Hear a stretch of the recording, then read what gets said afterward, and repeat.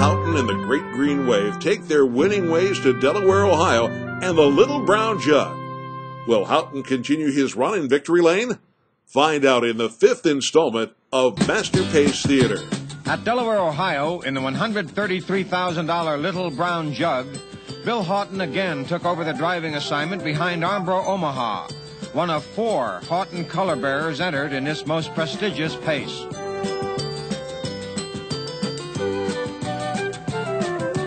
In the first elimination mile, the Haughton trained Brett Starr won for his regular driver, Mike Gagliardi.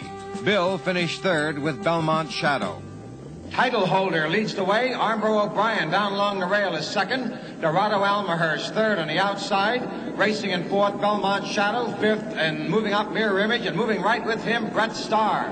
Brett Starr three wide and flying as they go down the backstretch. And Brett Starr is going for the lead. Down along the inside, title holder is now second. Moving up third, Dorado Almahurst. Racing off stride is Mirror Image, and racing fourth along the inside is Armbro O'Brien. Belmont Shadow is fifth as they turn for home. Brett Starr has opened a four-length gap on the field as they turn into the stretch. It's Brett Starr, title holder, down along the inside. Belmont Shadow on the outside. Dorado Almahurst and Armbro O'Brien.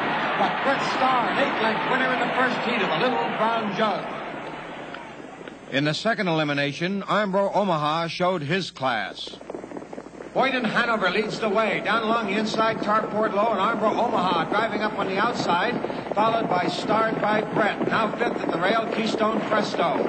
As they go to the backstretch, Boyden Hanover has the lead. Armbro Omaha driving up on the outside, Tarport Low third down along the rail. Going to the three-quarter mile mark, Boyden Hanover leads by a neck. Armbro Omaha second on the outside. Tarport Low is third, starred by Brett fourth. Pickwick Barron moves up now fifth on the outside, and Keystone Presto along the rail. Boyden Hanover draws out to a two and a half length lead. Armbro Omaha is second. Down along the inside, Tarport Low, and up on the outside, starred by Brett. In the lane, it's Boyden Hanover under at drive. Armbro Omaha takes the lead. It's Armbro Omaha winning the second elimination of the jug in 157.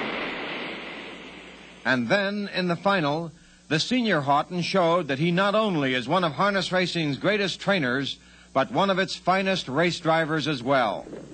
Watch and listen as Bill Haughton drives Armbro Omaha to victory and tells about the race. The start of the final heat, Brett Starr, my other horse who won the other division, had the rail, but he doesn't leave very fast, and I went right on to the front.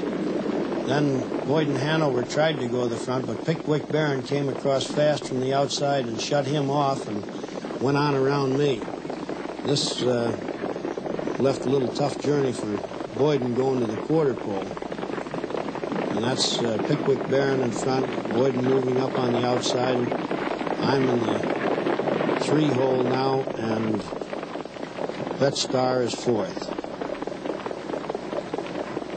Boyden made the top just past the quarter pole, and then he started to back up pretty good along in here. Um, after we straightened away in the lane, Brett Starr ran up on top of me and hit my tire a couple times. I'm very fortunate that he didn't cut it. And then uh,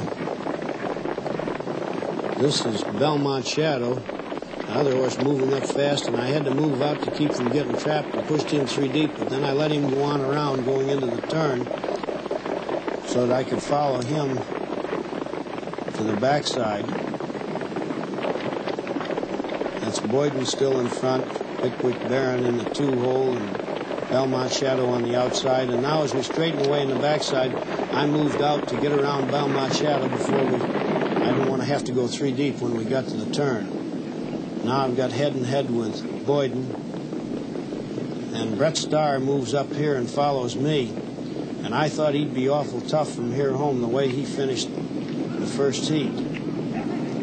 I did figure that Boyden would let go the same as he did the other heat but he held on much better this heat right on down to the wire. It was just the last couple feet that I got by.